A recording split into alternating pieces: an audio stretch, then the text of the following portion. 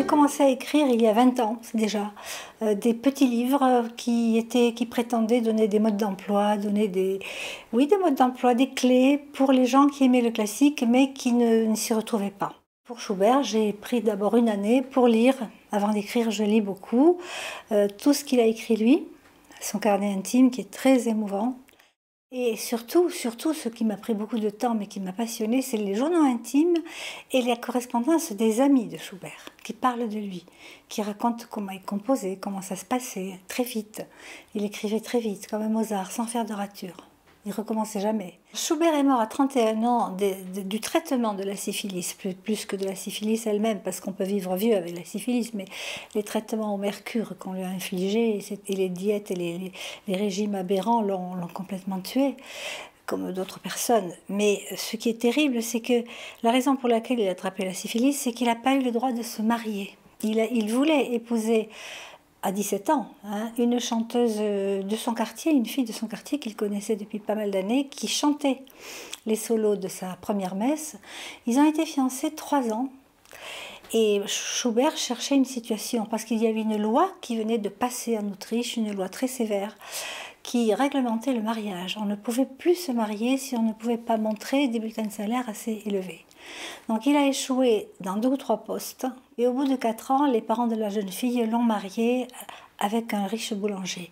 Et il ne s'en est jamais consolé. Il l'a raconté, il l'a dit à la fin de sa vie, il a dit Je, je n'ai jamais trouvé une autre femme qui m'ait plu autant qu'elle. Elle ne m'était pas destinée et je n'en ai jamais aimé aucune autre. Et donc célibataire, et il allait ah, il avait recours aux prostituées de Vienne et là, il a attrapé la syphilis. Quand on n'a pas de chance, on n'a pas de chance jusqu'au bout. Il a commencé à noter ses œuvres à 13 ans et il est mort à 31 ans. Donc il a écrit 1000 opus, c'est-à-dire plus que tous les autres. 1000 opus en 18 ans. Et la raison pour laquelle ça allait, il en a fait autant, c'est que justement, il ne raturait pas. Alors ce ne sont pas que des leaders courts. Il y a 15 opéras dont certains durent 3 heures. Il y a des sonates pour piano qui durent 45 minutes. C'était une œuvre absolument immense. La seule chose chez Schubert qui est raturée, qui lui a demandé énormément de travail, s'est demandé un an de travail, ce sont les leaders du voyage d'hiver, le Winterreise. C'est probablement un autoportrait. Schubert s'est peint la façon dont il se voyait lui. Et ça, ça lui a demandé tellement de travail que là, il a recommencé beaucoup de fois. C'est les seules partitions raturées, le voyage d'hiver.